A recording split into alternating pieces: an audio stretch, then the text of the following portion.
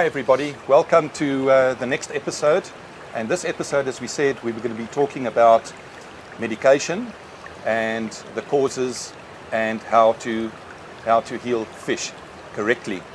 So we at the location of Jodi and Tanya Boshoff, and we are going to be doing a follow-up on one of the fish operations, and uh, we're going to discuss that. So Jodi, thank you very much for your time. Really appreciate it, and thank you for uh, this lovely garden opportunity that we have to, to show off the fish as well. Jodi, tell me, I see there's a portable pond. I know you're very big on quarantining. Um, why is it important that we quarantine and not just leave the fish in the water? Yeah, sure. There's a couple of reasons. Um, if you look at the pond behind us here, you'll see it's quite a big pond. It's uh, 5 meters by 3 meters, Right. by 1.8 deep. So that puts it around about 25,000 liters. Now, first of all, to medicate 25,000 liters, it's too much. The, it's, the expense is just going to be too high. And then, of course, you don't want to medicate fish that aren't sick. Well, that's So, good. so what you rather do is you get a smaller um, little swimming pool Yeah. and you put the fish inside there. That's about 2,400 liters of water. Um, and in the end, it's easy to medicate, it's easy to catch the fish, so it just makes more sense. Yeah, absolutely. I, I, I agree with you 100%. Um, you know, the other thing is is that we we often put one single fish in a in a uh, quarantine facility, but um, they do kind of get stressed, um, and it's always best to have another fish in there. In this case, we have got a fish that has come from our fish hospital of yours. That we I did some uh, treatments there, and then we did further treatment over here, and um, and yeah, uh, what uh, is the results that you found? Well, um, look, first of all, I, I, I think it, it worked out nicely. It's not good that the one fish has got the awesome that's sick, of course. Um, but the, but the other fish that was sick at the same time, you know, we could doctor further, yeah. So we could actually put it in without it affecting the fish and that type of thing. So that kind of made sense to us. Yeah. And then, of course, um, you also put uh, specific medication in the water. Yes. Also treated the water, uh, got the balance right, and um, we constantly had a look at the temperatures as well because temperatures and medication is. Um, is, is, is really a problem if it becomes too cold then medication does certain medication don't work very well so we started off with really a salt treatment and um, and then we moved on from there. Um, the particular fish that was in my fish hospital, um, the bacterial infection is is now cleared up completely. Yes, yes, very nicely. So, um, as you rightly said, we've used uh, salt in it. Um, we used the permanganate as well. Yes. Um, and then, of course, used the uh, chloramine T, um, which worked quite well. Um, so, yes, I think all in all, it's very good. I think what I will just mention is uh, right there by the pond, you'll see I'm using that pot. Now, that specific pot that's there, it's actually the second filter for the big pond. Uh-huh. But by using that, I actually got the good bacteria inside there. So when I set up the Medipond, Right. it already had the bacteria and the stuff. Ah, okay. So it wasn't the fish weren't weren't, weren't shocked in any way Yeah. whatsoever. You'll actually see inside the little pool itself um, a bit of algae and stuff starting to grow. Now, once you see that, then you know there's a bit of bacteria and stuff starting. That is one of the biggest problems from a medical perspective that uh, koi keepers uh, fall culprit to, and that is buying a fish and immediately taking the fish with the water and just plonking it into, Exactly. into the pond. First of all, you shock the fish. Second of all, the pond is used to its own biosystem, its ecosystem, if you like. Um, and then, of course, now when you introduce any new fish, uh, a new fish comes from different water and can bring along any form of uh, pathogen or bacteria. Correct. And Correct. that, of course, then creates a trouble. Correct. So, um, if a person doesn't have a quarantine facility, what's very, very important is, as you said, and it costs a bit more, Mm. is to then quarantine in the main pond, but then you've got to treat the entire pond. Yeah, and what what also happens then is it's like anything. It's like um, the medication we as humans use. Your body actually afterwards starts working against it. So in other words, the medication doesn't work anymore. Correct. And that's why you don't want to use it for the fish as well. Yeah, yeah. No, So look, right. i- i- in the end, that cost I would say about two thousand rand. But it's something I can put away again, reuse whenever I want. So Correct. yeah, no, it worked out nicely. Okay. So what, whenever I come through to you, we always do a water analysis with our kit, and we assess the water because water is everything in this game. Correct. And um, why we test the water is because, as you know, um, if there's any imbalance, that's when you're going to start creating or causing uh, the fish um, to stress, and you get the likes of ulcers and uh, and secondary bacterial infections and so forth. So from the water, just to understand, and we have a history of, and we always check. You're very good at that. We check to see what was the pH, what is the pH now, and we have a look at all the various parameters: ammonia, nitrate, nitrite. But what I also want to say is that the importance of the water is, is, is also to see the behavior of the fish at the same time as well. If you carefully uh, see how the fish swim around, they tell you what's going on in the pond. There's certain things to look out for. And then, of course, the second thing that we do is um, we then, after the water analysis, we then go onto the microscope and we do a microscope scrape. In other words, we pick randomly one or two fish and we just take a scraping of the mucus. Normally, what we do is on the gills, just off the gill uh, filament, uh, gill plate, we just take a scrape and then what we do is we wait for five minutes. And the reason for that, before we put it under the microscope, is that if there's any parasites in that mucus, it then they, they start then to to start swim out, and that's where you're able to pick it up. Why we do two and sometimes even three and four is because if you look at the behavior of the fish and you see that something isn't right, um, you then do one microscope analysis and you don't pick up anything. And normally a person would say, no, you've got no, no problems. But we do a second and a third and a fourth if we have to.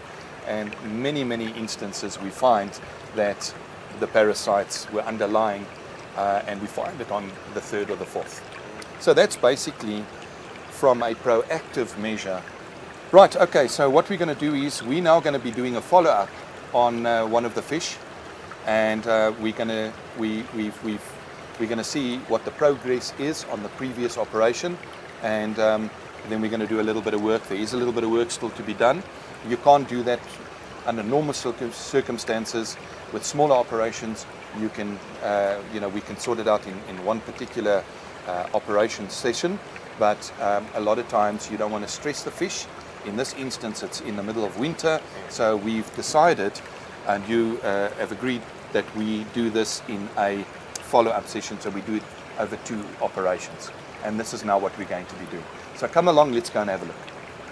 Jy kan die vis. Right. die, ons gaan eers die klein vis doen. Okay we're just going to put a little bit of medicine on the top. Much much better. I think with um, all the medicine that we're also putting in the water, you know, it's another two or so weeks. the fact that we've got well we've got now uh, like a like a like a secondary bacterial growing over almost like a fungus but Yes. that, that's the protection.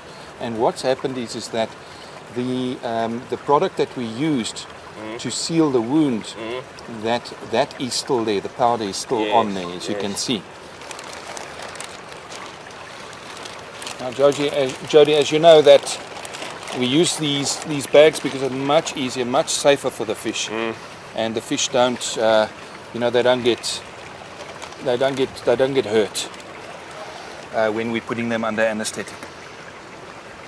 Thomas, kry vir my die bio sleep asseblief.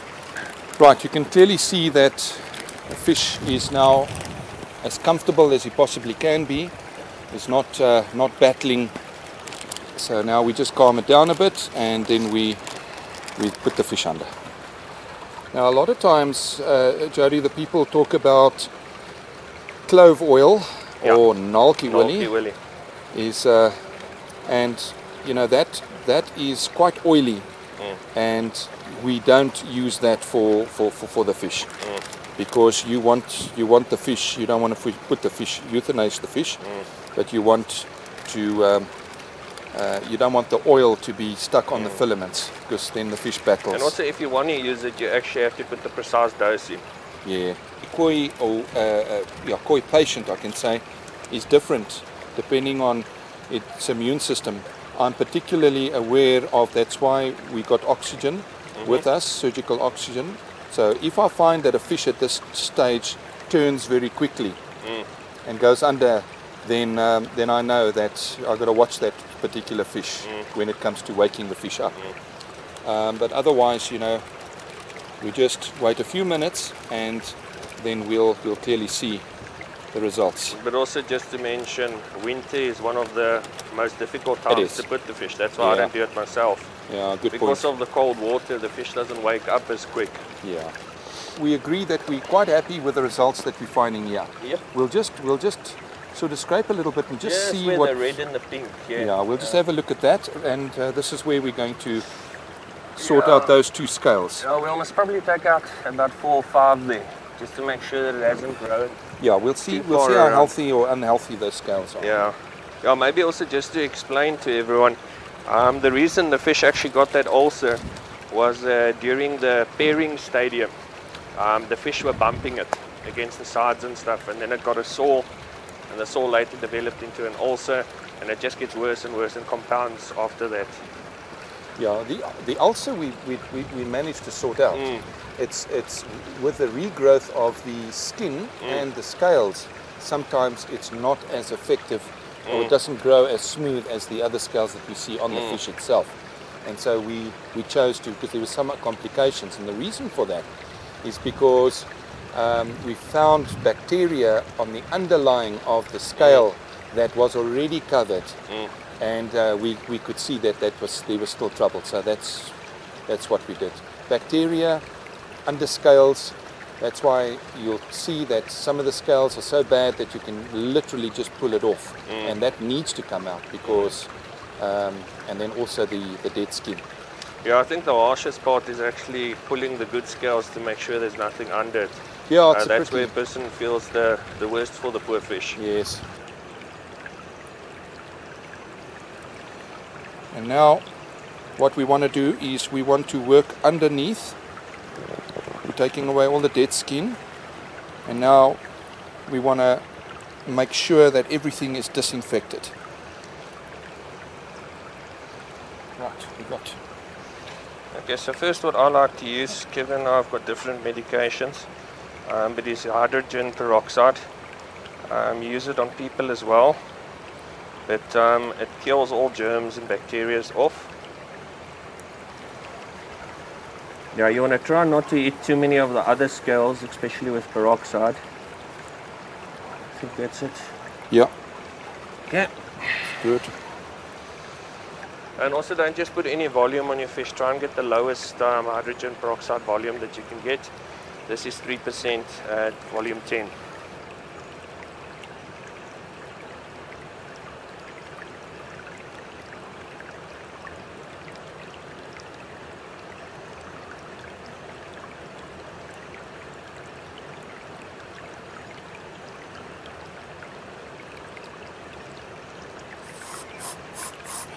This is basically freezing up and it's spraying underneath.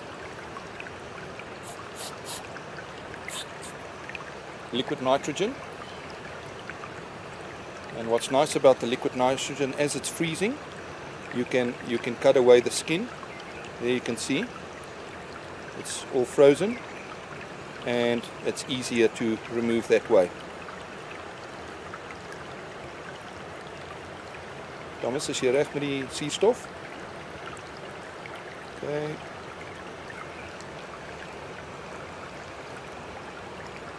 Right, we're good to go here.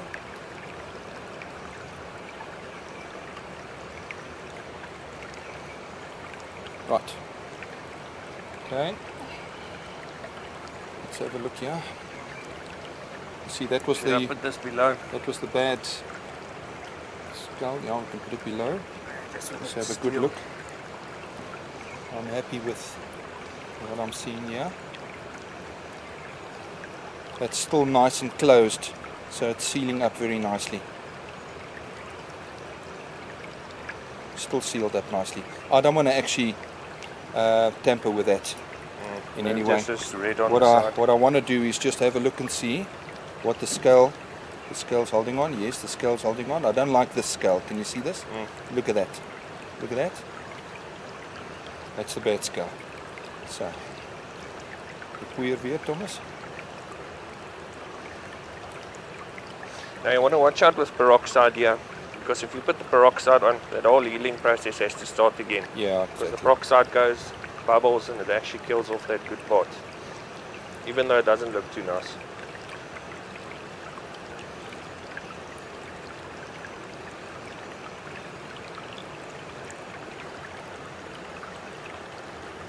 There we go. Sealing it all up again, just like we did before. That section there. Yeah. I also saw that.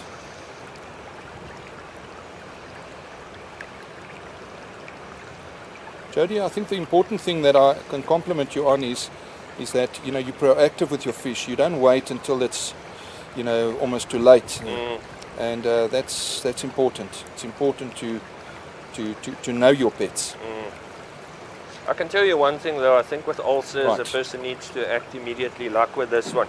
Yeah. Normally we would just medicate it and not pull the scales, yeah. but I think the best is, and I think Kevin agrees after witnessing this one, that Okay. uh, it's just best pulling the scales. Right. We're ready to go, guys?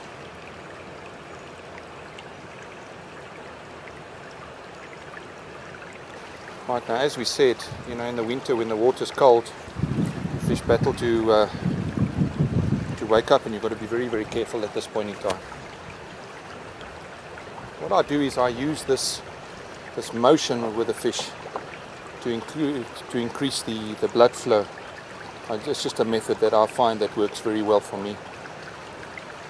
Fish is in good shape if I have a look at the skin color. A lot of times, if there is a, you're finding, especially on your darker fish, when you're finding a creamy film, almost like somebody's put a dollop of cream over the fish, then, um, then there's definitely something going on, uh, bacterial infection or, um, or uh, parasites. The other thing also to look out for is eyes that are either popped out, they call it pop eye, or eyes that are severely sunken in. Normally, that gives me an indication that there's parasites. Um, uh, then, and, and we normally, I then look for Costia parasite. The important thing is when you're introducing any new fish into your pond, a week afterwards, best to do a microscope scrape, have a look and see. Also check the behavior of your fish.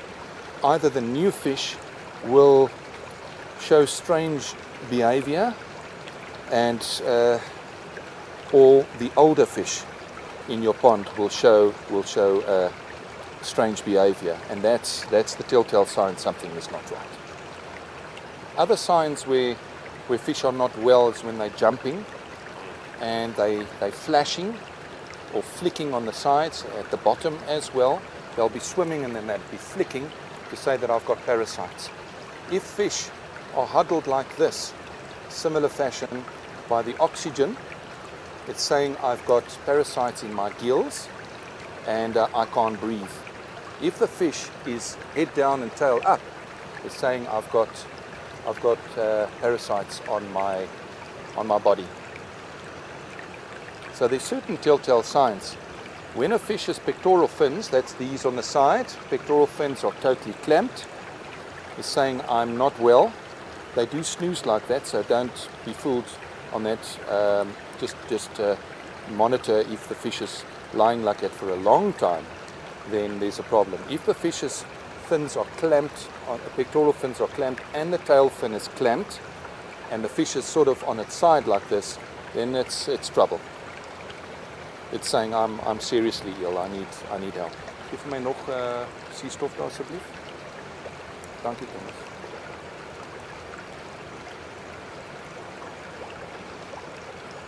There's various medications that one can use, and please, the important thing, and I can't, can't stress it enough, is you know, don't throw medication after medication into the pond. A lot of times you actually worsen the situation.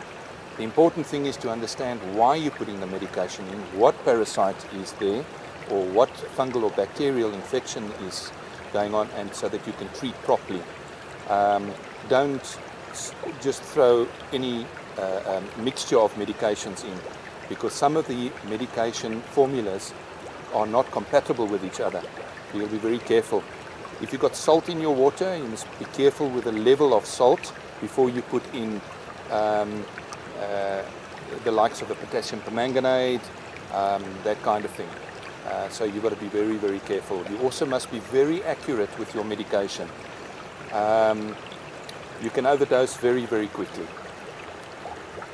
Potassium permanganate, for instance, starves the water of oxygen. The reason its reaction, it needs oxygen to react. So you'll find that if you're doing a big potassium treatment, you'll find that the fish will start coming to the surface, and that's and that's basically where the you know an indication that uh, your water is being starved of oxygen because of the chemical uh, reaction.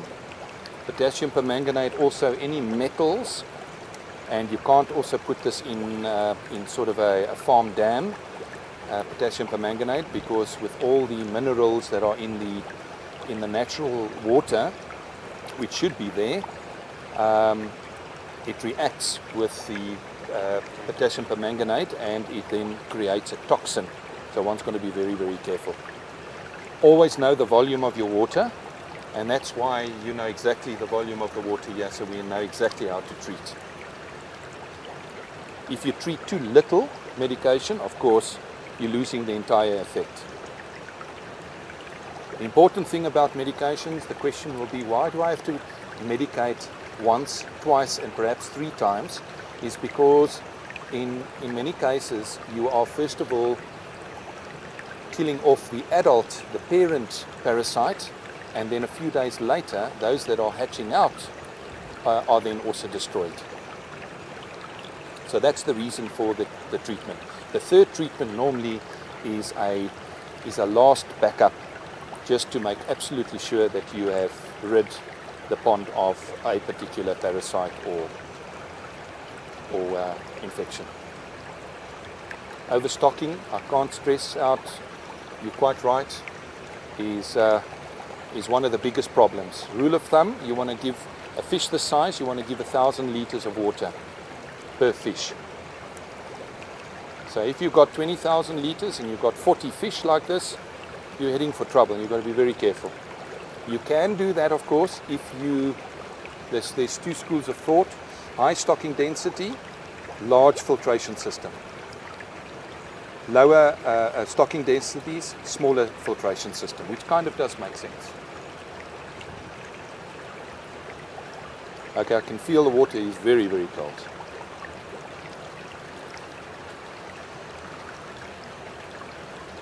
That's good. See we're moving. Very happy with that. Okay, so we're out of the danger zone. There, she's upright.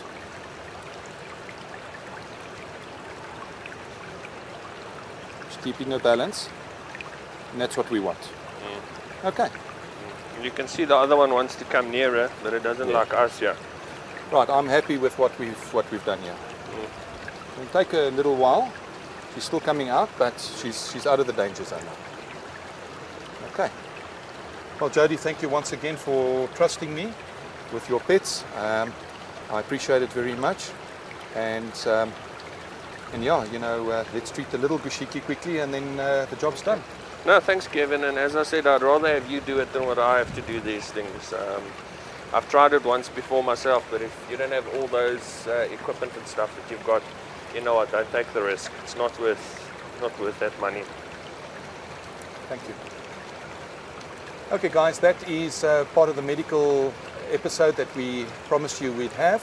And uh, if there's anything else that you need to, remember I said subscribe on YouTube and, uh, and, and then you know one can answer certain questions uh, with regards to any episode. Thank you. Right, I'd uh, almost in, now in conclusion would like to just thank Thomas, my colleague, trusty colleague that's with me all the time, um, that we work together over 18 years now. And uh, so Thomas, thank you very much. And um, thank you for helping me over the, all the years. Okay, Jodi, so that's all sorted out now on the medication side. Uh, what's also very important really is uh, filtration, of course. So um, if you can just uh, run us through the type of filtration that you've got. Sure, Kevin. So uh, originally I started with, I think what everyone starts with is a pool sand filter. And um, I found that the pool sand filters, you have to clean like one, once a week, and then after a month you have to replace the sand. So I wasn't very happy with that. Then I went to the bubble bead filter. Um, it worked nicely, but it wasn't keeping the water quite as clear as I wanted it to clean it. And then I went back to the basics. And what I actually did is I got some nice pots, which I put on the side of the the pond itself. Right. And inside it, I put a piece. I put, of course, the filtration stones and stuff, the biomedia. Right. Then I put in a small, small, small, thin layer of sponge, Okay. and then the filter wool on top of it. And that's just to take the worst of the um, rubbish out of the pond. Right. But the most important part is actually the plant filtration. Ah. Now you'll see my plant filtration, I would say, is maybe even bigger than what the pond is if you actually have to take the net size of it. Yes. I can see that. And what happens is it runs right from the back there, the water's pumped to the back. There's my water lily section, Right. okay? And that, that I've actually put right in front of the TV room. Right. So when people come and visit, you know, they all see these beautiful water lilies and stuff. Oh, it always looks nice. So I started with that, and then Okay. from there, what it does is it goes into the second section of plants. Right. And as it goes through the plants and the algae and stuff, it just picks up that final layer, that small layer of dust and stuff. Right. And it builds up a lot of bacteria as well. And then what happens from there is it goes directly into the pond. Now I'd say of all the filtration that you get, that is the biggest must. You must have plant filtration. Um, plant filtration I also find works better than any other filtration. It just catches dirt and muck so much better. And what's the best thing about it is it takes nitrates out of the water. Yes. And that's the most important part. And that's the liquid compost as we Correct. often call. it. correct. Yeah, I, I have to say, and clearly by, by, by seeing how the plants grow um, so successfully, it just shows you how well they're working Mm. and how well they're taking out the, the nitrate out of the out of the water. And I can see how clear your water is and how well balanced your water is. So yes, plant filtration very definitely is one of the most important things uh, when it comes to purifying water. I found it over and over, and over the years, um, I now I now swear by that. It's uh, absolutely nice. You can also get uh, giant papyrus, which you've got, mm-hmm. you, but you've got so many different varieties that give beautiful colored flowers mm. at the right time. And then you've also got the floating plants, you know, mm. like the water lettuce and, mm. and that kind of thing.